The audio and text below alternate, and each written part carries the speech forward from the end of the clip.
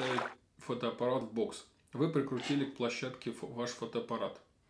После этого вы включаете сам непосредственно фотоаппарат и кнопку включения фотоаппарата на боксе ставите в положение ON.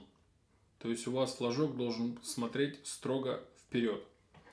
Соответственно, вы берете и клавишу моды приподнимаете со щелчком вверх, для того, чтобы ваш фотоаппарат вошел в бокс.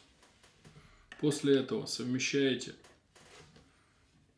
пазы на площадке и задвигаете его вместе с фотоаппаратом площадку до щелчка. Как только у вас фотоаппарат зашел внутрь бокса, то есть вы опускаете клавишу мода вниз, она у вас садится на клавишу мода выбора режимов.